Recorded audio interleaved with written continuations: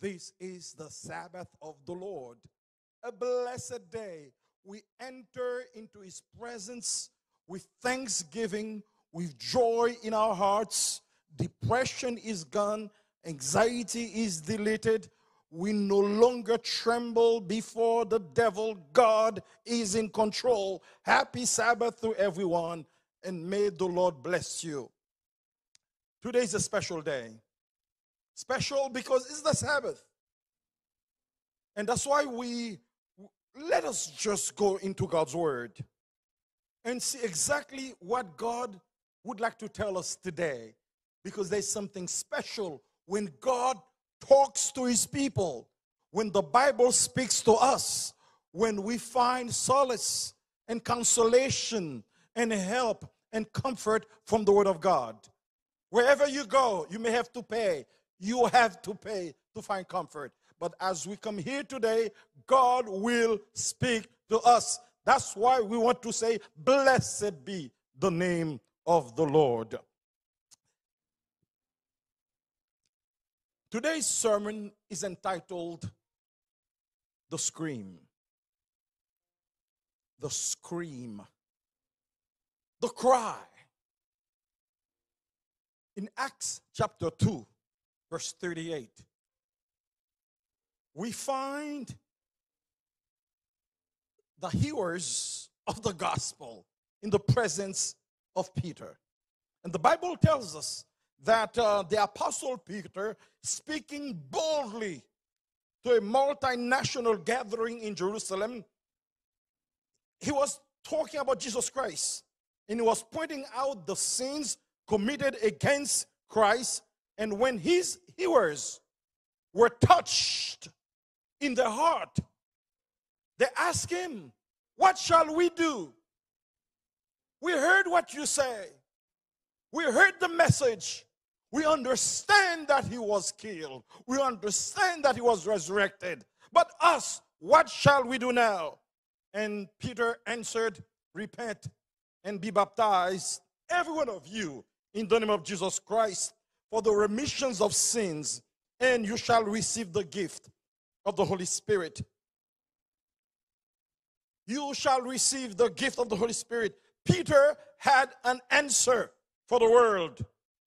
And let me ask my church today can you hear the world screaming?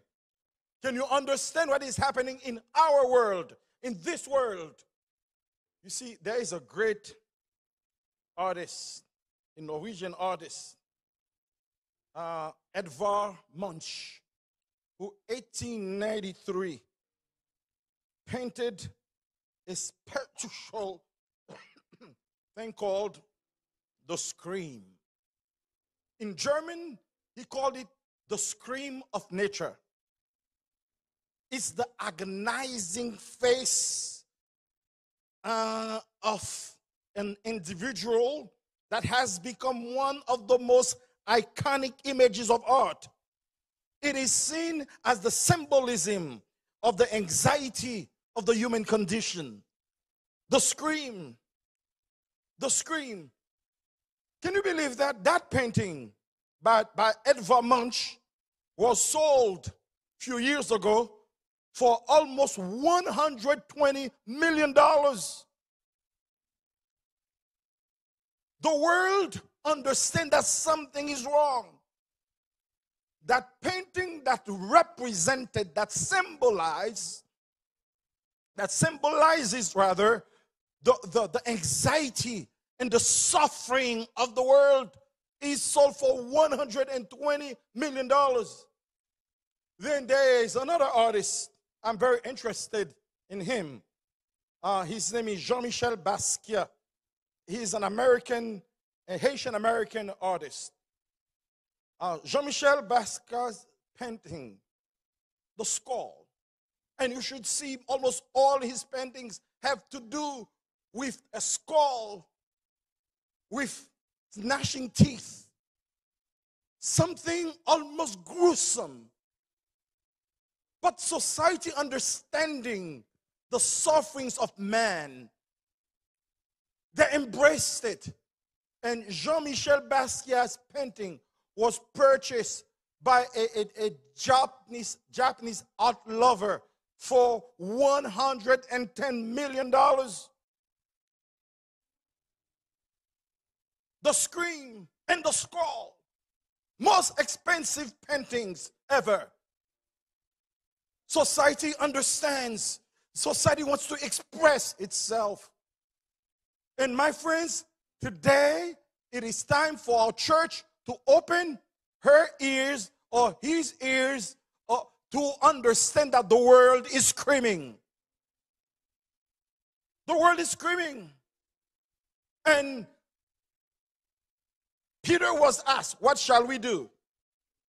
My brothers and sisters, it is imperative for us to understand we must have an answer. The church can no longer remain silent. The church cannot be detached. The church cannot be indifferent. The church must not look confused. The church must have a message. The church must stand. The church must rise and bring a message of hope to the world. My friend, when I looked at the Word of God, I understand yes, the church must speak. And there are different steps, there are different ways that the church must speak, and why the church must speak, and how the church must speak. The church at this time, my friends, my brothers and sisters, who are witnessing what is going on in the world, who are basically, we are victims of what is going on in the world. What shall we say? What shall we do? The scream of the world, the cries of the world, the skulls of the world. What shall we do? First and foremost, the first act of the church, number one, is to look within, to look inside, to look what the church has in her hands, to see what the church has in her heart. Look within. And Paul understood when he says in Second Corinthians chapter 1, verses 18 to 22. In fact, that was one of the verses in our Sabbath school lessons. He said, But as, as surely as God is faithful, our message to you is not yes and no.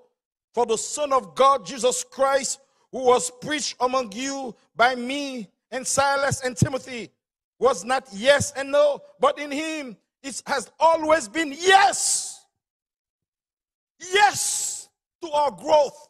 Yes to our victory. Yes to our conquest. Yes to prayer. Yes to victory. The God we serve, the Jesus we serve is yes. Then he continued by saying, It's time for the church to say amen. And verse 21 says, you know what I like here? He says that uh, we, and so through him, the amen is spoken by us to the glory of God. He says here, the church must say, let it be. Let it be. And verse 22, whether 21, says that now it is God who makes both us and you stand firm in Christ. He anointed us, set his seal of ownership on us, and put his spirit in our hearts as a deposit guaranteeing what is to come. That's where we stand today. God has his deposit in us. God says, Yes, you can do it. You have it in you.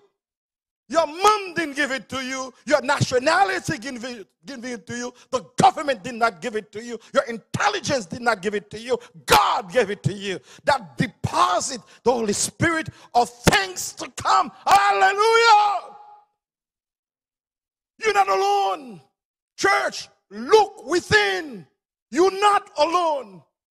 And the Holy Spirit is given to you as a deposit of things to come. More will come soon. God will do exceedingly abundantly for his church above and beyond whatever the mind can conceive. This is the God we serve. It's time for the church in these dark days to look within and understand a deposit has been made through the Holy Spirit in our hearts. That's why we say amen. You see, in Adventism, there, there is a verse that was very popular, and I pray that we go back to it. That's Colossians chapter 1, verse 27. And I love it. And I, I, I love it. You know, uh, you know, it's it's just Christ, Christ in you, the hope of glory to them God has chosen to make known among the Gentiles the glorious riches of this mystery, which is Christ in you, the hope of glory. So the church has the Spirit, Christ, the message of Christ in our hearts. What shall we do? It's time for the church to sit and look that the church is loaded through the gift of the Holy Spirit. What shall we do? The church also, the second step, the church must look behind. What have you learned from the past? Romans 15 4 reminds us that everything that was written was written for our instructions. Romans 15, verse 4, which is important. Everything that was written was written for our instruction for us who have come at the end of times. We must go back and look at the lives of those who were blessed by God for everything, everything that was written in the past was written to teach us so that through endurance of the encouragement of scriptures, we might have hope. Look back and see how God did in the past. Go back to the Red Sea. Go back to Egypt. Go back to the desert. Go back. Think of manna falling from heaven. Think of water coming out of rocks. Think of serpents biting, and a single look brought healing and restoration. Look back Look back and understand that the God you serve is a mighty God who answers the prayers of his children, who asks for no advice from no one. My double negative. Look back, my friends. There's no reason to sit looking confused and anxious. No. Look inside. God has made a deposit. Look. Look behind and you will see what God has done in the past. What he done, what God did for Abraham, that old man of whom nature said it's over. But nothing is ever over, over until God speaks. Amen. Hallelujah. Don't ever allow anyone to tell you things are over for you. God has not yet spoken. You shut up about my life or the life of my, my children, of my family, of my church, God's people. Look back. Look back. You know something? Let's look at the third step. Look around you. Things are falling apart. No one would have ever imagined that a country like America would be shut down. Huh. Manhattan never sleeps. Manhattan slept. The city that never sleeps slept. Because when God say time says it's time to sleep, you sleep. When God say things are over, things are over. Look around you. There's confusion. There's fear. People are trembling. School officials do not know whether or not to open schools. Each individual is, is a potential assassin of his neighbor. Everyone is suspected of, of carrying the virus. We wear gloves and masks, and there's a new expression PPEs. Where do we go from here, my brothers and sisters? Look around. In Luke chapter 21, verses 25 to 28, the Bible tells us that, in fact, Jesus was talking to his friends, to his disciples, and gave them some clear instructions regarding the time in which they live. In verse 28, he said, When these things begin to take place, stand up, stand up, and lift up your heads because your redemption is drawing near. God's church has nothing to fear for the future except that we forget the way the Lord has led us in the past. The fourth step is to look ahead. look ahead. The church of prophecy. We know what's going to happen. That's why we are not afraid. The kingdoms of the world are going to become the kingdom of Christ. Hallelujah. The little stone will be detached from the mountain and will hit the statue. And the, the rock and the stone will become will become a big and high and wide and heavy mountain that will fill the earth. That's what we know. That's what daniel told us. Jeremiah told us ezekiel told us and jesus our lord confirmed everything let not your heart be troubled believe in god and believe also in me in my father's house, there are many mansions. I will come back for you. Look ahead of you. Understand that the beast, the image of the beast, the dragon, they all will be thrown in the lake of fire. We know what's going to happen.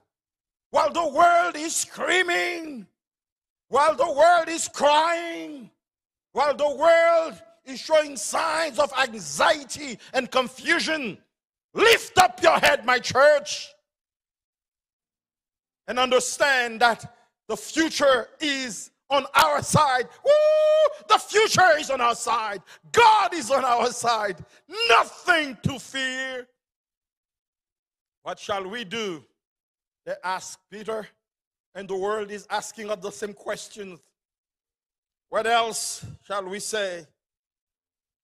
You know, Sister White made a statement I'd like to paraphrase when she said, At the end of all things, when we start looking at the things, the events, the circumstances that have caused us a lot of griefs and sorrows and pains and sufferings, when we look at them in glory, we will understand that they were the ones that God used to take us out of our personal struggles. They were the ones that help us grow spiritually. When we get, look ahead. Look ahead. What did I say earlier? I said, one, the church must look within the grace of God in his heart, the Holy Spirit given as a deposit. The church must look behind and understand and try to understand what happened in the past and, and, and discover that God did it all. When things looked impossible for Joseph, God did it. For Moses, God did it. Look around you and a confused world. And it's time to understand that God will have the last word that's why, as a church, you must look ahead of you. And study the prophecies. The prophecies. Understanding things will fall apart, yet God's kingdom will soon descend. But we must also say, we must look beside us. Beside. And understand uh, what are the resources that God has placed around us that are available to us. Look beside you and see. You, we are equipped to reach the world. I'm preaching on Zoom. I'm now on YouTube. I am on Facebook. We can be on Twitter, Instagram, and so on. So many platforms. Look beside you. Men and women equipped and dedicated to spread the gospel around the world. Look around you. All the satellites ready to beam the message of deliverance to a dying world. Look around you. That's technology. Now look around you. Every time you see a horse, every time you see a donkey, every time you see a cat, every time you see a dog, you must remember Balaam's ass. That donkey that spoke. God is never short of options. God is always able to do what he says that what he says that he would do. Look around you. Very soon, maids and servants, boys and girls, all men and all women will have dreams and vision. God's team is ready to go. Look around you, my friends. Look around and understand that we are ready to go. Praise God. And above all, think of Joel 2. That's what God said. The people you look, you see them, they look weak. God is going to use them. Huh. You know something? You have to look also above you. Just like Jacob in his dream. It's a moment, moment of quarantine, in a moment of isolation. He was sequestered all by himself while we are quarantined. Look above, and you'll see God sitting on top of the ladder. I love that. God sits, He controls. God is in control. If you have there's anything that you must remember in this life, I'd like to tell you G I I C God is in control the geek squad of the living God. God is in control. Look above and see who's controlling the affairs of the world. Look around. Who can enter into, into parliaments?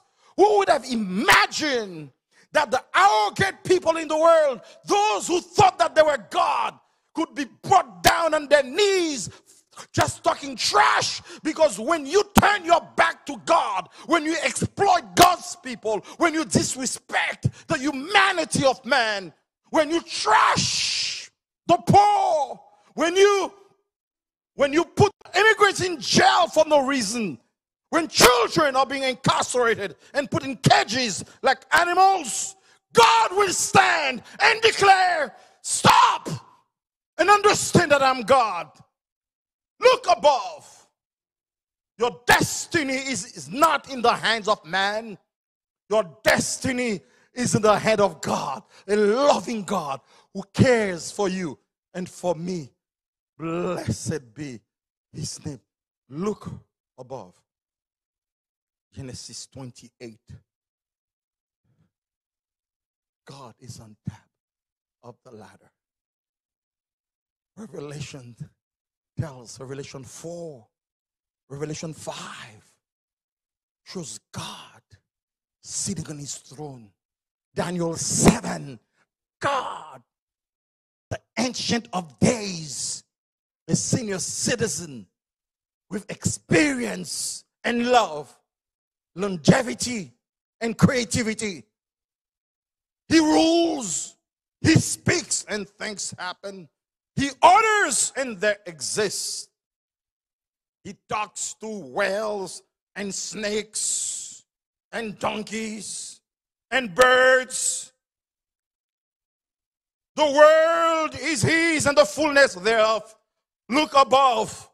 You are not serving a winkling. You're not serving a weak God. You're not serving a lame God. You're not serving an absentee God. You are serving a living, all powerful, all loving, an omniscient God. The God you serve is eternal.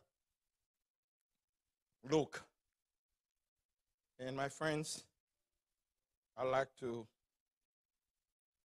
invite you to take the last look the last look, the final look, the final look, the final look that John took in Revelation 7. After this, after this, Revelation 7, verse 9. After, after this, I looked, and there before me a great multitude that no one could count from every nation, every nation, every tribe, people, and language. There's no race, black and white, no. That's men's creation stuff. Standing before the throne hmm, and in front of the Lamb. There were wearing white robes and were holding palms branches in their hands. And they cried out in a loud voice, Salvation become, belongs to our God who sits on the throne and to the Lamb.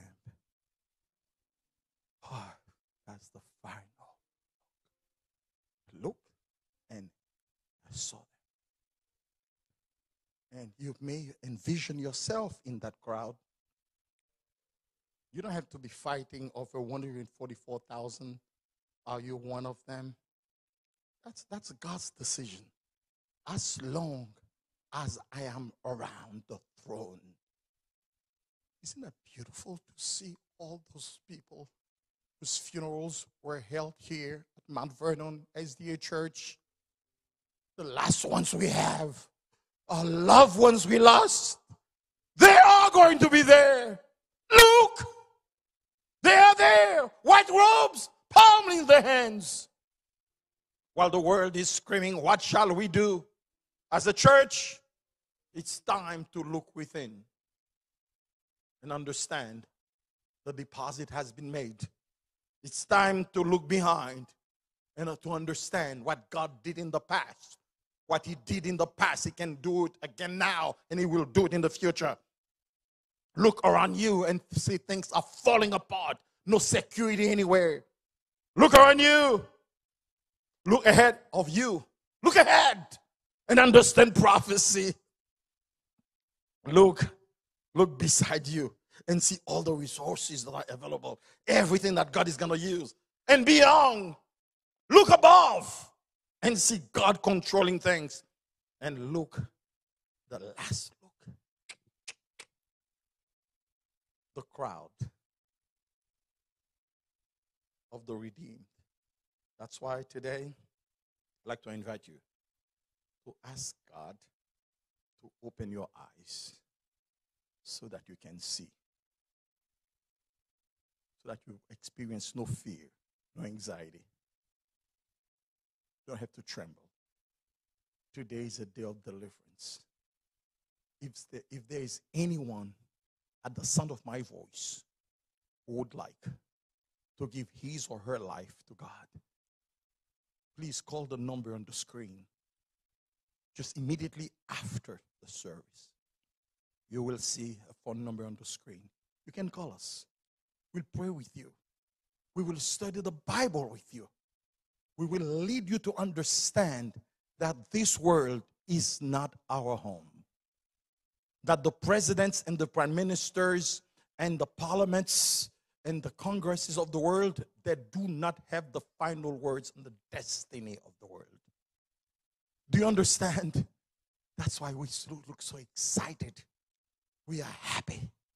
The church is in the right spot right now, the best spot ever. We have the answer. The world is screaming,